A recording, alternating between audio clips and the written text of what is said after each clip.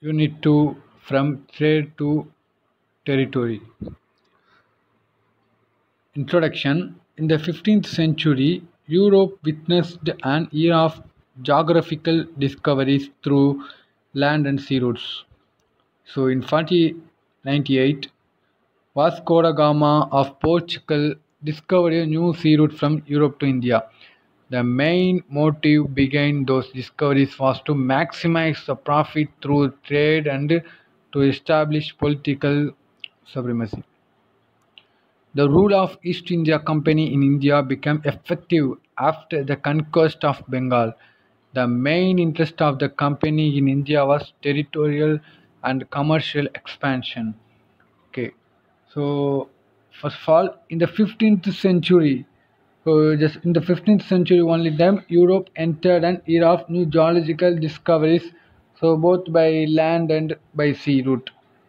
So in 1498, Portugal sailor, so Vasco da Gama is a sailor. Okay, Portugal sailor Vasco da Gama discovers a one new route, so new sea route from Europe to India. So such new geology. What is the main purpose of the invention? So the main purpose of the invention is making profit through the business. So making la- large profit through the business and political domination. After the conquest of Bengal, the rule of the English East India Company strengthened in India. When after the conquest of Bengal, so first one they conquest the Bengal. After the conquest of Bengal, the rule of the English East Company, India Company, strengthened in India. So the purpose is power of business and governors is to expand. So what purpose? The purpose is the power of business and governance is to expand.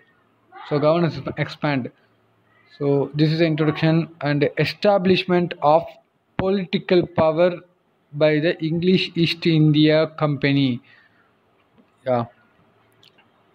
Battle of Plassey. So next one is the Black Hole Tragedy, 1756.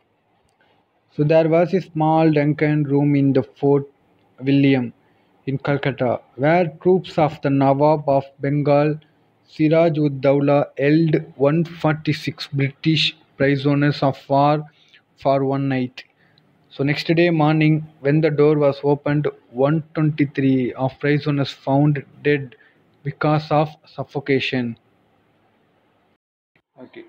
So Siraj Uddaulla's forces, so Siraj Uddaulla's forces captured 146 British prisoners and locked them in a one dark smoke-free dungeon room. So dark smoke-free dungeon room, which means so air can't go inside the room. Overnight in the Williams Fort, Kolkata. So next day morning, so when the room opened the next day morning, 123 prisoners. So 123 prisoners had died of suffocation because there is a no way to air coming to the room. So this is called so this is called the black hole tragedy. So this is called a black hole tragedy. Okay.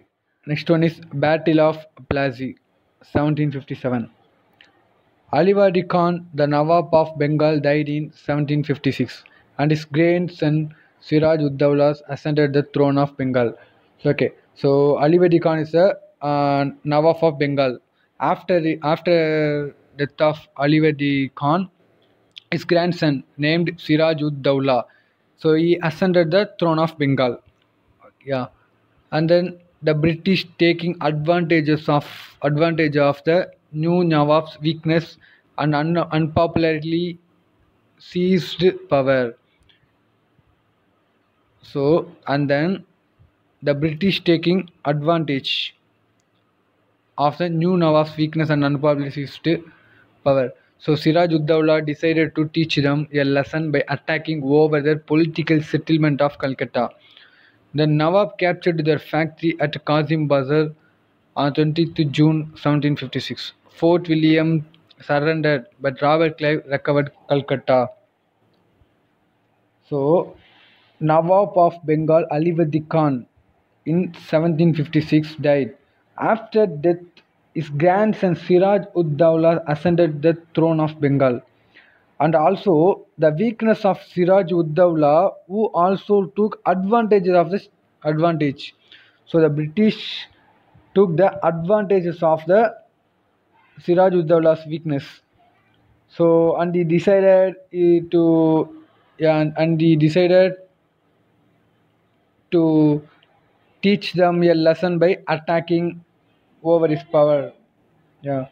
So understanding this, Siraj Uddawla to teach the lesson. Yeah. There's in Calcutta attacking settlements located in Qasim Bazar, Bengal captured the business center. So 1756, William of England on June 20, the fort surrendered to the Nawab, but the only one English commander. So the one English commander Robert recaptured the Calcutta. On 9th February 1757, Treaty of Alinagar was signed, whereby Siraj Uddawla conceded practically all his claims. So finally, February 19, 1757, according to the Alinagar Agreement, held Siraj Uddawla. So Robert Clive accepted all of the condition. Yeah, so British then captured Chandranagur, the French settlement on the March 1757.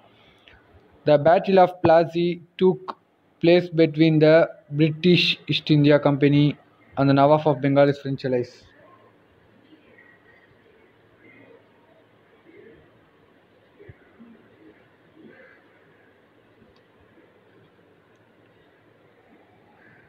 It was fought on 23 June 1757. The English East Company's forces under Robert Clive defeated the forces of Siraj Uddawla. After the collapse of Bengal, the company gained a huge amount of wealth from the treasury of Bengal and used it to strengthen its military force. So, the beginning of the British political sway over India may be traced from the Battle of Plassey. So, first of all, finally, February 9, 1757, according to the Alinagar Agreement, held Siraj Uddawla. So Robert Clive accepted all of the conditions. Yeah. Then Chandranagur, a French settler in March 1757, was captured by British.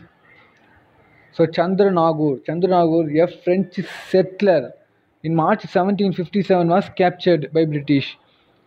And then the war was fought between Siraj and French Allied and English East Company.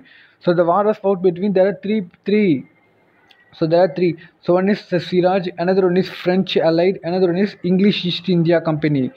Yeah, the war was fought between Siraj and French Allied and English East India Company on 23rd June 1757. So the Battle of Bliss victory over the political power of the English not only started in India, for the next two years, two centuries, that did prolong the dominance. Yeah, look at that. The beginning of the British political sway over India may be traced from the battle. So it was the most decisive battle. So yeah, this is one of the important bat- battle that marked the initiation of British rule in India. So that is the initiation. That is the starting level, starting level of British rule in India for the next two centuries. Next one is Battle of Buxar, 1764. After the Battle of Plassey in 1757, the company was granted undisputed, undisputed right to have free trade in Bengal, Bihar, and Orissa. So, 1757 to the Battle of Plassey. After the Battle of Plassey, in Bengal, Bihar, Orissa, the British had unrestricted trade rights. So British had the unrestricted trade rights received, where in Bengal, Bihar, Orissa, okay, and then the place of 24 paraganas in Bengal. Uh, so also it received the place of 24 paraganas in Bengal. Mir Jafar, the Nawab of Bengal, however, fell into arrears and was forced to abdicate in favor of his son-in-law, Mir Qasim. So, Mirzapur, who ascended the throne of Bengal, so Mijapur, Mijapur, Mijabar, who ascended the throne of Bengal. So Mijapur is the throne of Bengal. After the Battle of Plassey, was forced to resign. Why? Because he failing to complete with the demands of the British. Yeah. So before the uh, Buxar war, Mijapur and British uh, had signed some demands but Mijapur, Mijabar failing to complete with the demands of the British and also made his son-in-law Mir Qasim the new Nawab of Bengal. So Mir Qasim was angry with the British for abusing the customs exemption order and got involved in riot. Uh, so Mir Qasim ceded Burdwan, Midnapur, and Chittagong. He shifted his capital to from Murshidabad to Mongol. Mir Qasim soon revolted as he was angry with the British for misusing the districts, however, having been defeated by the British. So Mir Qasim was angry. So Mir Qasim was angry with the British. Why? For abusing the customs exemption order and also got involved in riot. However, having been defeated by British. Yeah. இருந்தாலும் then he was defeated by the British and also uh, ran to Ayodhya for refuge. Yeah, and refu- refuge. The battle was fought on October 22. So Buxar, Buxar is a small. What is a Buxar?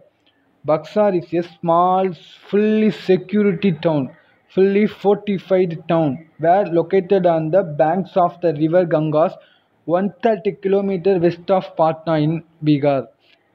So Buxar is a fully highly security level town, but it's a small, so small highly security level town located on the banks of the river Gangas, 130 kilometer west of Patna in Bihar. Okay.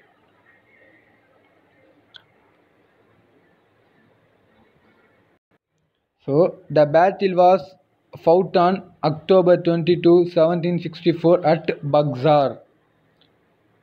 That's why this battle called Battle of Buxar.